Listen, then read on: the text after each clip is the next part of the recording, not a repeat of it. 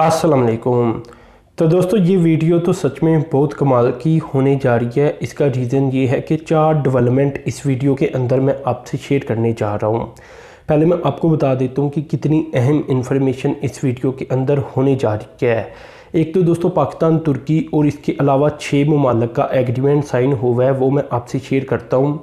इसके अलावा दोस्तों, लाहौर का मास्टर प्लान भी इस वीडियो के अंदर आने जा रहा है। और जो दो डेवलपमेंट है, वो तो मैं अभी आपसे पहले ही शेयर करने जा रहा हूँ।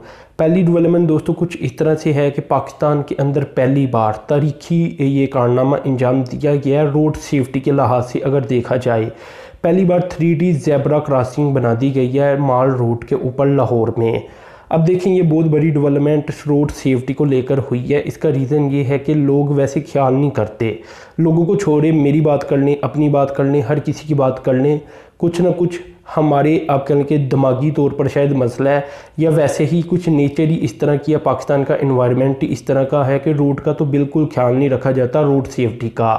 तो यहाँ अब थ्री डिज़ाइन किया गया है जेबरा क्रॉसिंग को, और वो इस तरह लगता है कि ये उबर उबर रही है या उबार पैदा होता हुआ नज़र आता है दूर से ही।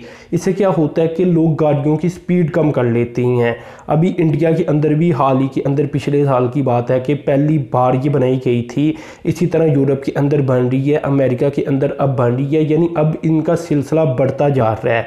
अब पाकिस्तान ने भी अच्छा कदम उठा लिया है, साथ ही बनानी शुरू कर दी है। लाहौर के अंदर ये माल रोड के ऊपर पहली बार बनाई गई है और दुनिया में ये देखा गया है कि ये जो थ्री डी जैबरा क्रॉसिंग है, इसके बाद लोग अपनी स्पीड को कम कर लेते हैं जहाँ ये आ जाए, क्योंकि ये वाजिया तौर पर नज़र आ जाती है। इसके अलावा अगर मैं आपको पुरानी वाली जैबरा क्रॉसिंग की बात बताऊँ तो वो तो रोड से वैसे ही मिटती हुई नज़र आती थी। यानी रहती ही नहीं थी और दोबारा से अखराज करने पड़ते थे। तो ये एक बहुत बड़ी डेवलपमेंट हुई है। मज़ीद ये भी बता दूँ कि अभी इस मज़ीद लाहौर के अंदर ही अभी ये थ्री डी जैबरा क्रॉसिंग को डिज़ाइन किया जाएगा मुख्तलिफ़ मकाम के ऊपर। इसके बाद इन पाकिस्तान के बाकी हिस्सों में भी ये बनाई जाएँगी। तो दोस्तों, अब दूसरी डेवलपमेंट की तरफ़ आ जाता हूँ। दूसरी डेवलपमेंट कुछ इस तरह से है कि गवर्नमेंट की जानब से ये डिसाइड किया गया है कि चार कोई कॉमन एक्सपो सेंटर बनाए जाएँ चार सिटीज़ के अंदर। इन सिटीज़ के नाम पहले मैं आपको बता देता हूँ। इन सिटीज़ के नाम है सियालकोट, गुजरात, वजीराबाद और गुजरावाला। अब देखें, ये सारी सिटीज़ अगर देखी जाएँ तो एक ही डिवीज़न की बनती है, गुजरावाला डिवीज़न के।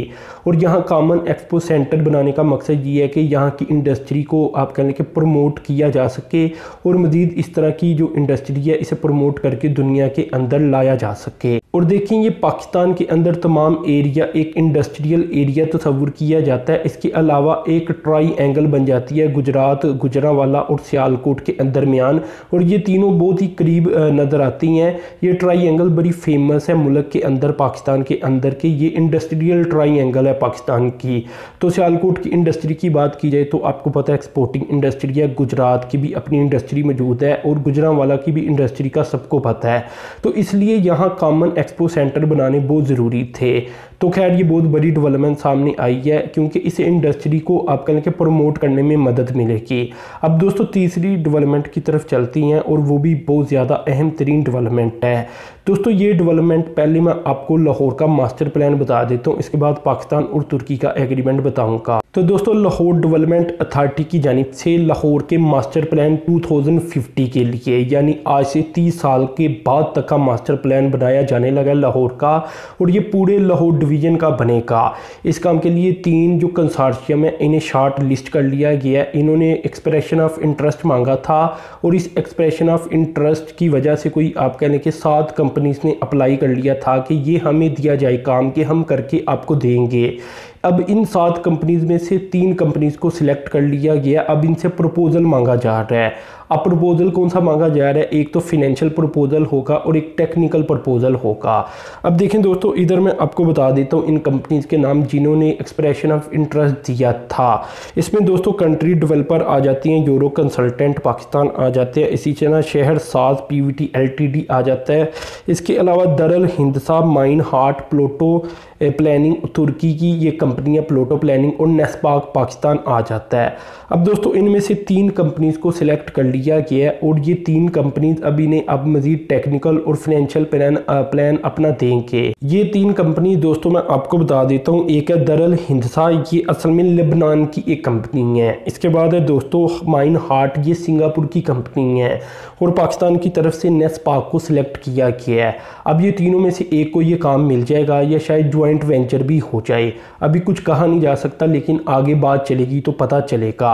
अब देखें दोस्तों, यहाँ लाहौर का सिर्फ़ बात नहीं हो रही, पूरे लाहौर डिवीज़न की बात हो रही है, जिसमें ननकाना साहब भी आ जाता है, और भी जो लाहौर डिवीज़न के अंदर जो जो इलाके शामिल हैं, वो भी आ जाती हैं। इसके अलावा जो लाहौर के गाँव वगैरह, देहात वगैरह, उनकी भी प्लानिंग शामिल होगी, और तमाम चीज़ों को मद्देनज़र रखकर ही डिसाइड किया जाएगा लाहौर का 2050 तक का मास्टर प्लान अब दोस्तों, चौथी और सबसे अहम तरीन डेवलपमेंट की तरफ़ आ जाता हूँ।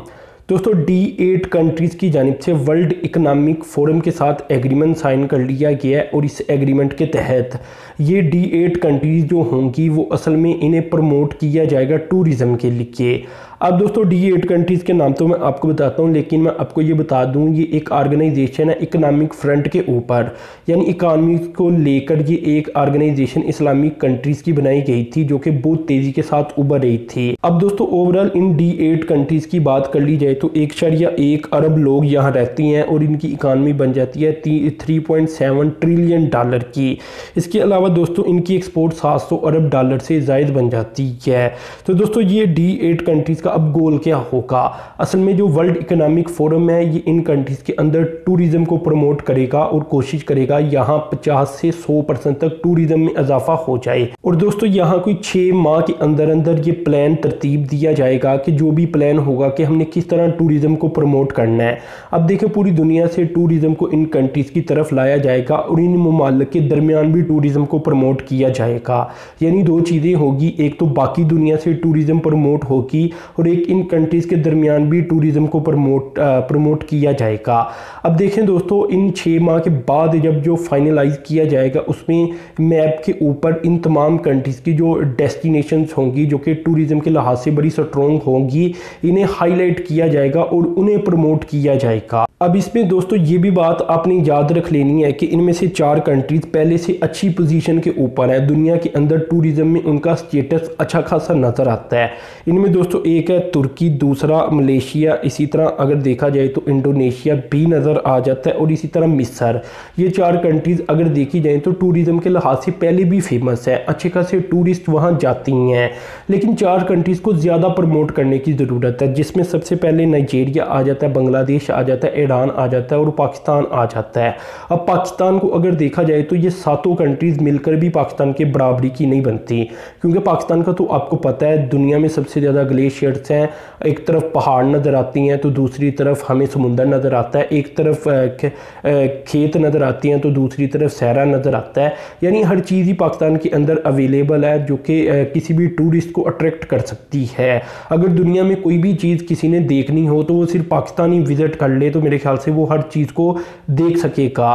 तो पाकिस्तान का पोटेंशियल बहुत ज़्यादा है। इसमें अब पाकिस्तान को ही सबसे ज़्यादा उबारने की कोशिश की जाएगी, क्योंकि अगर दुनिया में इन तमाम ममाल को इकट्ठा प्रमोट किया जाएगा तो मेरे ख्याल से लोग पाकिस्तान को सिलेक्ट करना पसंद करेंगे। अब यहाँ पाकिस्तान का मसला क्या रह जाता है? पाकिस्तान को अच्छे तरीके के साथ प्रमोट नहीं किया गया माजी के अंदर। अभी अगर किया जाएगा तो थोड़ा सा टाइम लगेगा। इसके अलावा दोस्तों, इधर ये भी मैं आपको एंड पर बताना चाहूँगा कि कोई दस अरब डॉलर की इन्वेस्टमेंट ये वर्ल्ड टूरिज़्म फोरम की जानब से कोशिश की जाएगी कि पाकिस्तान की तरफ़ अट्रैक्ट कर दी जाए।